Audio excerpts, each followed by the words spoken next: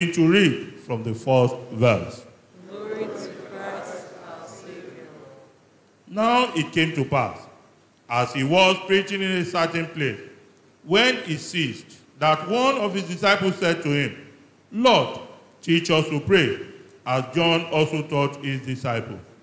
So he said to them, When you pray, say, Our Father in heaven, hallowed be your name. Your kingdom come. Your will be done on earth as it is in heaven.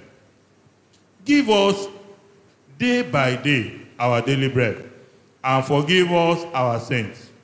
For we also forgive everyone who is indebted to us. And do not lead us into temptation, but deliver us from the evil one. And he said to them, Which of you shall have a friend, and go to him at midnight and say to him, Friend, lend me three loaves, for a friend of mine has come to me on, the, on his journey, and I have nothing to set before him. And he will answer from within and say, Do not trouble me. The door is now shut, and my children are with me in bed. I cannot rise and give to you. I say to you, though he will not rise and give to him because he is his friend, yet because of his persistence, he will rise and give him as many as he needs. So I say to you, ask, and it will be given to you. Seek, and you will find. Knock, and it will be opened to you. For everyone who asks receives, and he who seeks finds, and to him who knocks it will be opened. If a man asks for bread from any father among you, will he give him a stone? Or if he asks for a fish, will he give him a serpent instead of a fish? Or if he asks for an egg, will he offer him a scorpion? If you then, being evil, know how to give good gifts to your children, how much more your Father who is in heaven, who will give you the Holy Spirit to those who ask him. This is the gospel of Christ. Christ. My hope is built on nothing than Jesus, Lord, and righteousness. I dare not trust,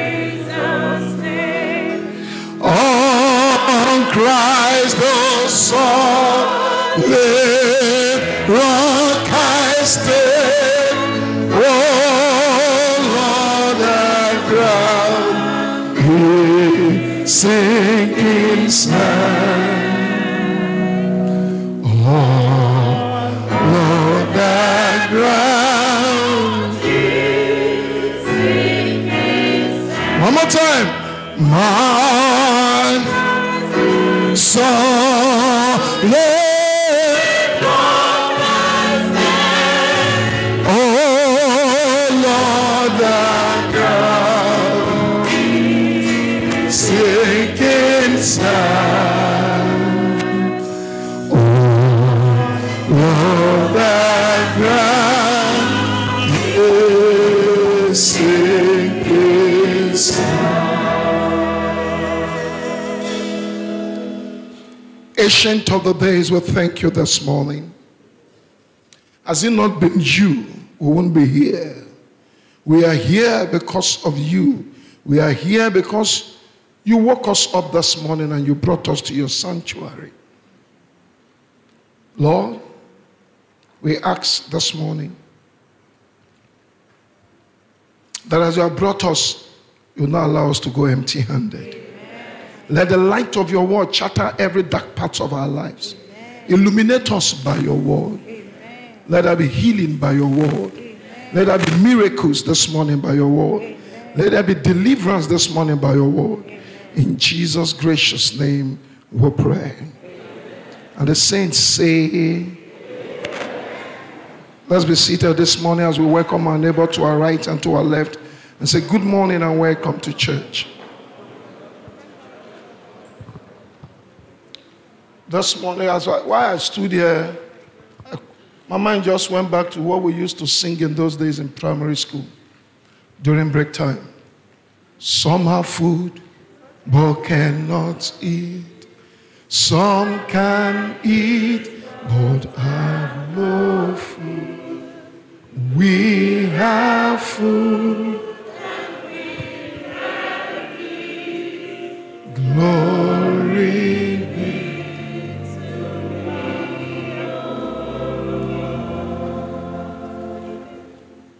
Does that song make any meaning to you?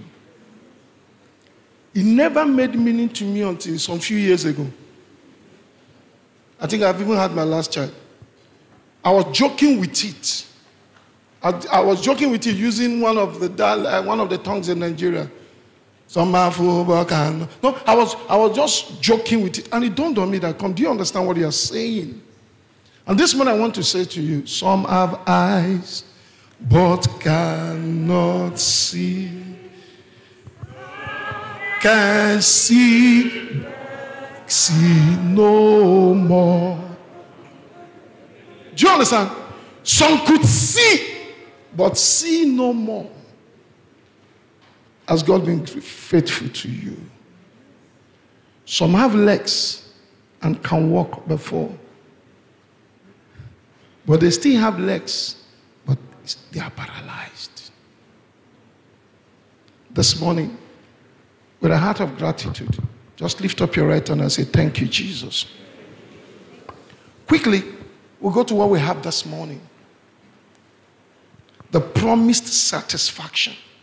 All good things. The promised satisfaction. A satisfaction that is promised to you.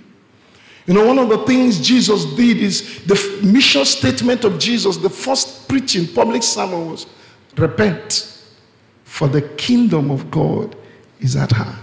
The Greek word there, metanoia, does not mean have a U turn, it means change your thinking. Why?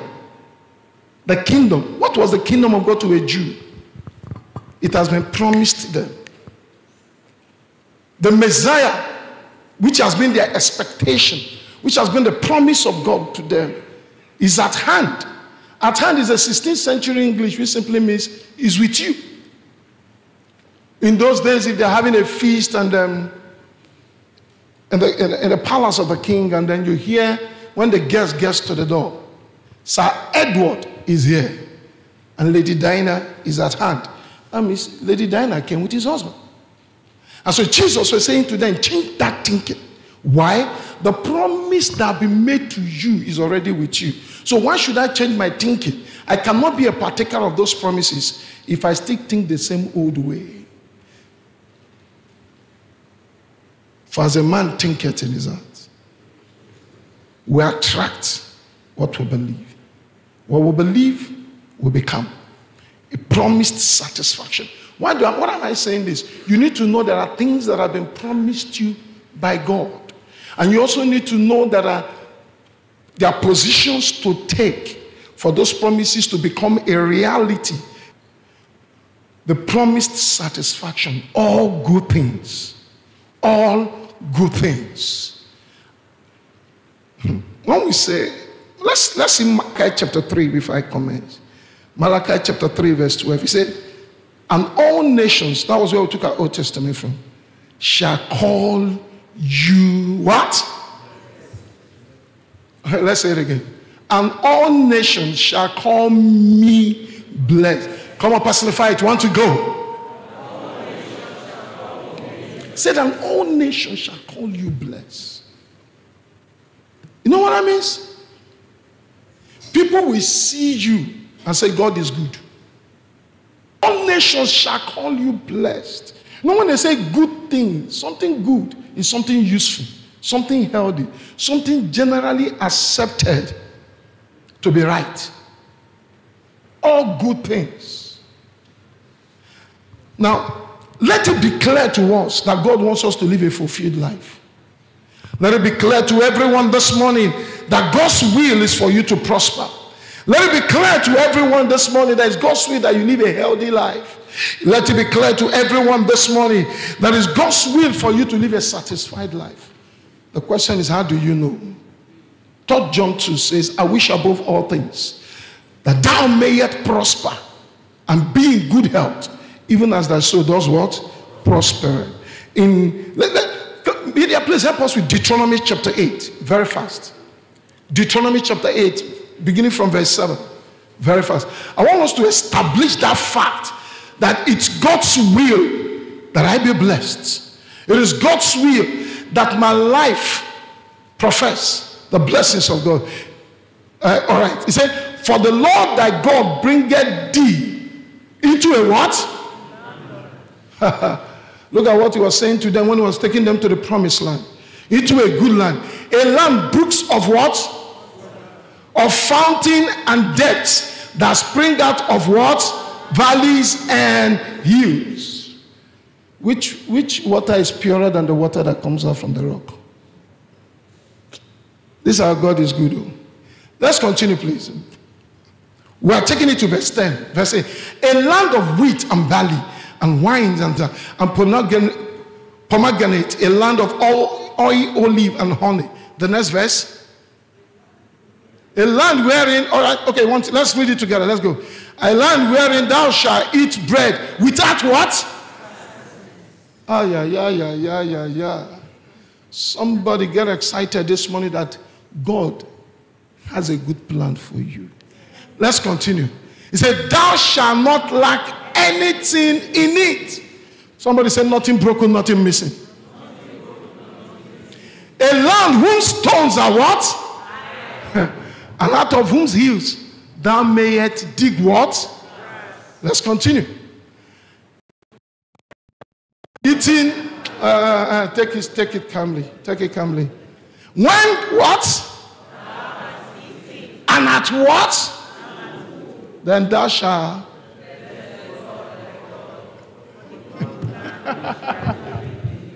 Ah, when thou art eating and at food. No, it is not God's plan for you to go to bed empty stomach. Not because you are dieting, but because there's nothing. You know, you can decide not to, once it's six o'clock, I won't eat again. And so anything that happens and you, you couldn't eat and it clock six, it is still tomorrow morning. But this one, if you see it by 12 midnight, you will eat. But it didn't come. Plan for you. But why? But that is surely the experience of people. Let's proceed. In Isaiah chapter 51, verse 2, he said, Look unto Abraham, thy father, and Sarah, thy mother. For he said, For I have what? Blessed him. Abraham is a definition of God's blessing. In scriptures, when you want to study some things, there are individuals that are personified. Abraham, when it comes to blessing, is an authority to study. When it comes to prayer, you study Elijah. You want to study favor, sit down with the book of Esther. And you know what it means for a slave to become a queen in the land of slavery.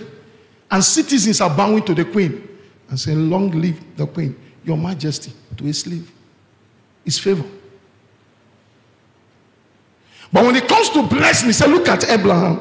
I, I called him alone and blessed him. He said, I called him alone and what? And blessed him. So when you look at Abraham in Genesis chapter 12, he said, In blessing I will what? I will bless thee. When he offered Isaac, I, I feel within me that God went through the entire universe looking for who was greater than him to swear by. Because for you to swear, you need to swear by one higher than you. And when he could not find one, he came back to Abraham and said, Abraham, I know if you remember when you were small, when you want to swear, what do you do? You put hand on the sand, you put it in your, on your tongue. True to God, if I not kill you today. So God looked at Abraham and said, Ah, true to myself, in blessing, I will bless you. So I swear by myself. In blessing, I will bless you. And according to Galatians chapter 3, Cursed is he that hangs upon the cross, that the blessings of Abraham might become ours. So by redemption, you've been brought in to that covenant of the blessings of Abraham. So it is God's will for you to experience the good things that Abraham respected. And you're talking about that same Abraham, the Bible says, and he became rich in what? In cattle, in oxen, in asses, in silver, in gold. In fact, when he got to Isaac, he said, and he waxed very great. That is your father. He said, Look to him that. He said, Look, look, look that direction. See the way I've decorated him. That is my will for you. All good things. All good things. But the question is, what is his blessing? Because, you know, one of the biggest problem of young people today is that we feel that what makes a big man a big man is the car he rides, the houses he lives in, the, wrist, the Rolex wristwatch in his hands. So we, we do everything just to buy those kind of cars, live in that kind of estate, you know, live in that kind of a house, uh, and then wear the kind of watch they wear, wear the kind of shoes they wear, which has made us become a consumer generation. And you know the truth? The producers determines the direction of the world. The consumers keep the producers succeeding. When Jesus said, no, they used to make this statement. They say, and eh, the poor keeps getting poorer and the rich keep getting richer. It is scriptural now. Jesus said, the one that has, that does not have, he no ghetto. The one he has, I'm a They will collect it from him. And then they will give him to the one that what? That has already. Because the consumer will always give to the producer. So why will the rich not keep getting richer? The mindset is that these are the things. It is a consumer's mindset. What is blessing? Let me begin by saying what blessing is not. Blessing is not money. You know, when somebody gets a car now, they say, ah, God don't bless you. You don't get motor. God don't bless you. No, no, no, no, no. It's a deceit. It is the blessing that produced the car. The car is not the blessing. You say, what do I mean? The blessings of God does what? Makes, make, old King James said, make it rich. The new King James said, makes one rich. He didn't say that the blessings of God is riches. The blessings makes you rich. It is what you do with the blessing that will determine if you have the good things of life or not. You can be blessed and die the poorest man on the surface of the earth. Was Lazarus a child of God? In the parable Jesus told, Lazarus went to heaven. Was Lazarus a child of God? As a child of God, was Lazarus blessed? He was blessed. But was very, very, very poor. The description does not permit to put the remaining OR. Poor. But he went to what? Abraham also went to where? So I discovered that it is not the money that determines who goes to heaven. Abraham went to heaven a rich man, Lazarus went to heaven a poor man. So decide that you want to go your own. Am I communicating at all? And so, what is blessing if it is not riches?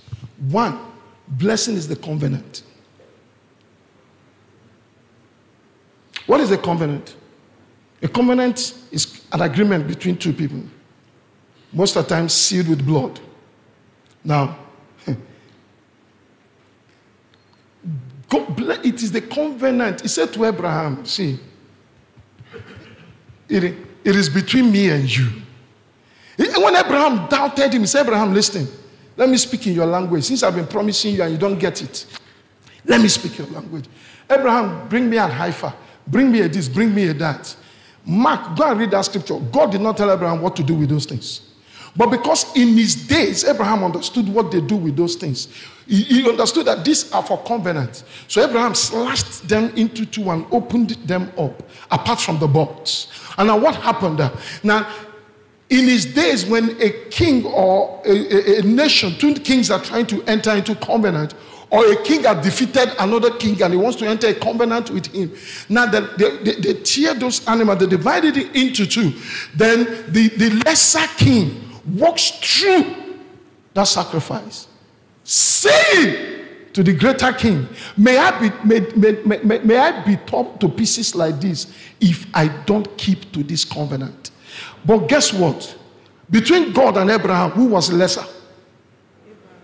But we walked through the sacrifice? What was God saying? Abraham understood it.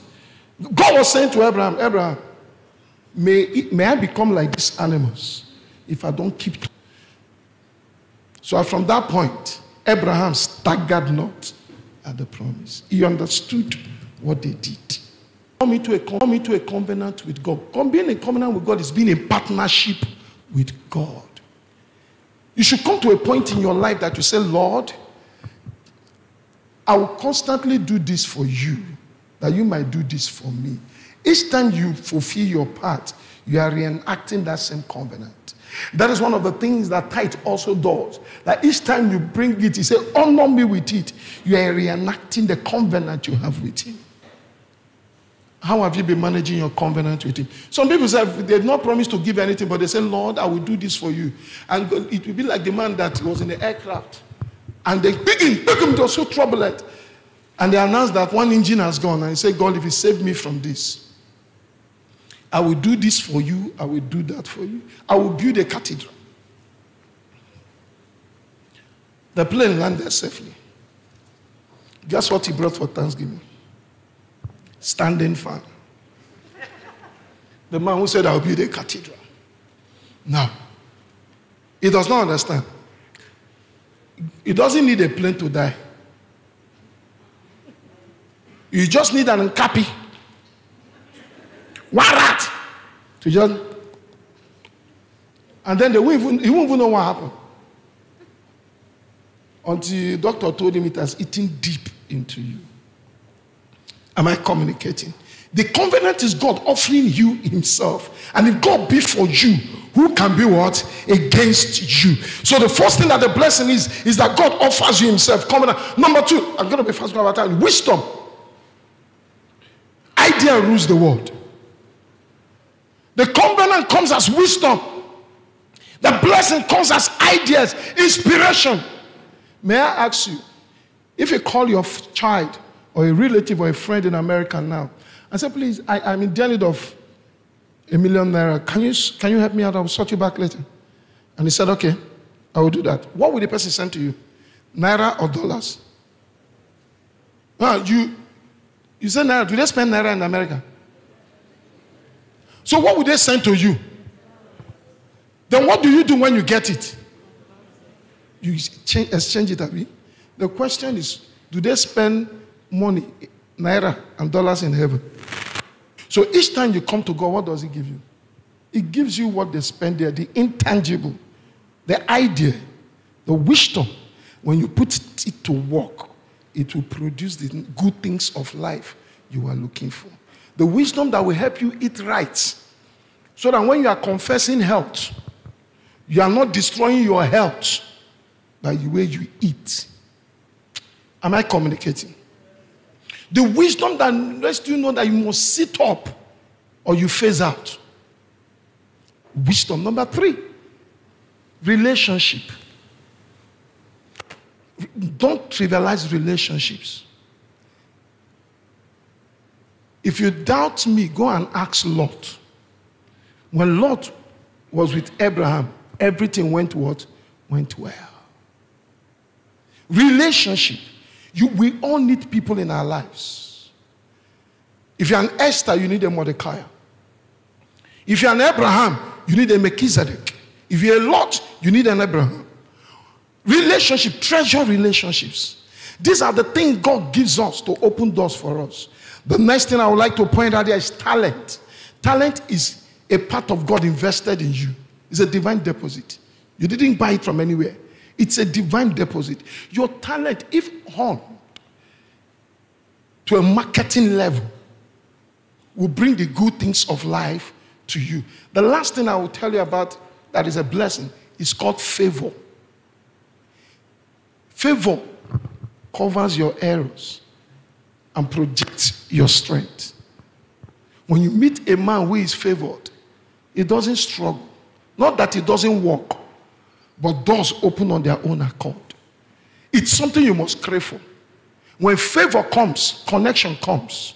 When favor comes, help comes. When favor comes, difficult situations dissolve like an ice before a fire.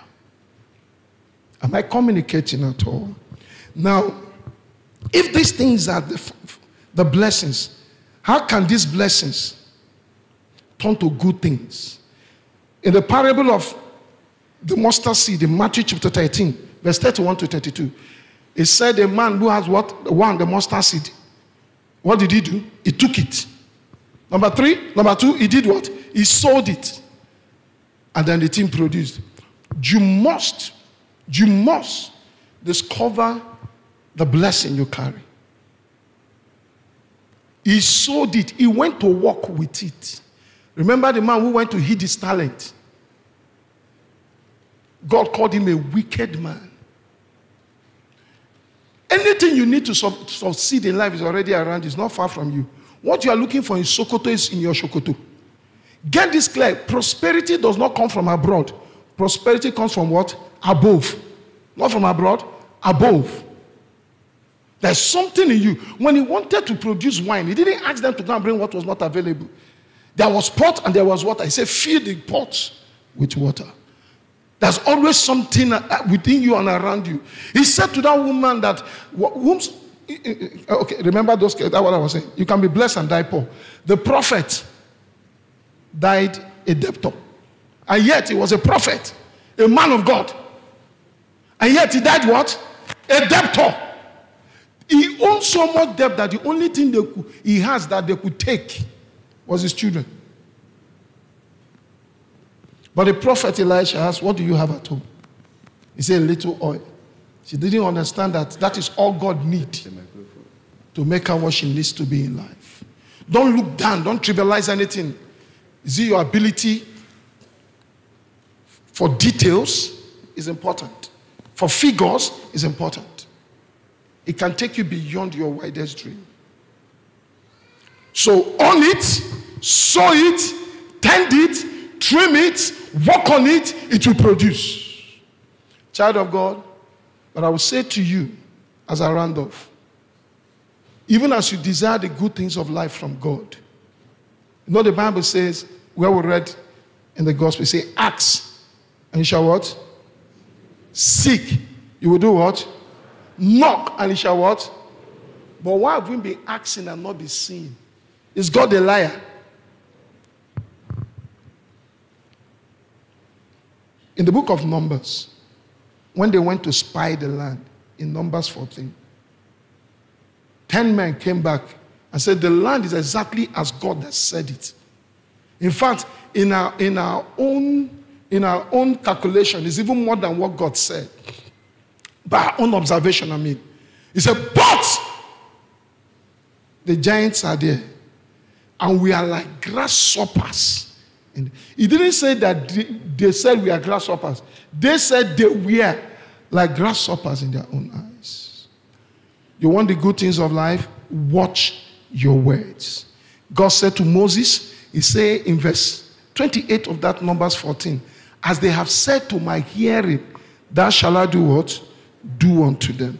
Why am I saying this? Watch your words.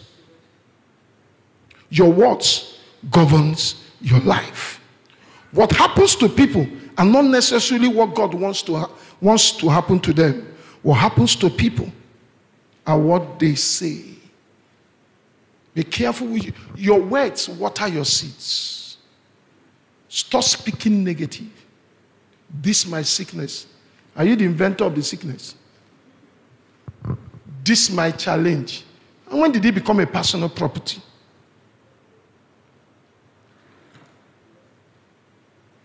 The power of life and tongue are where? Sorry, the power of death and life is where? This morning. Permit me for two minutes. Rise to your feet. Forgive me. And let's practicalize that scripture.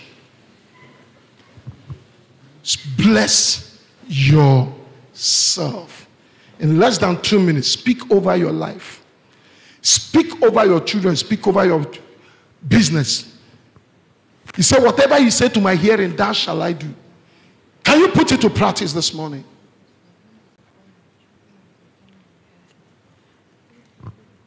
Can you put it to practice this morning?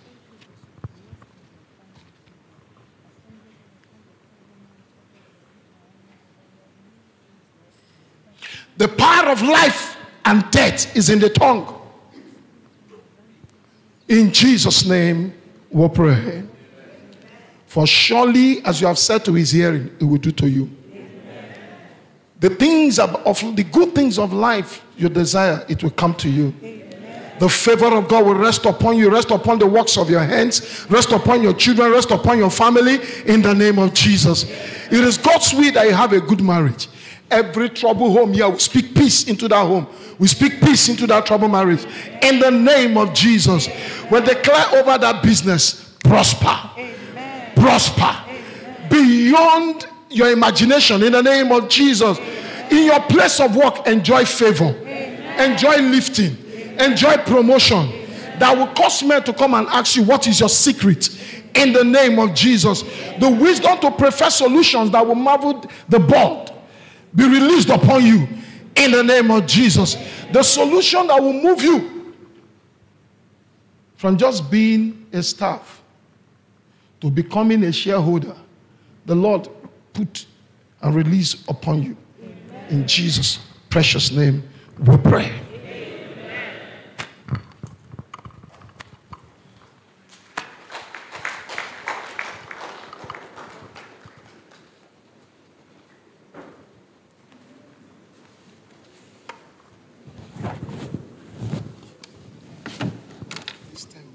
The Lord be with you. As we continue the service, let us reaffirm our faith in the words of the Nicene Creed. We believe in one God, the Father, the Almighty, maker of heaven and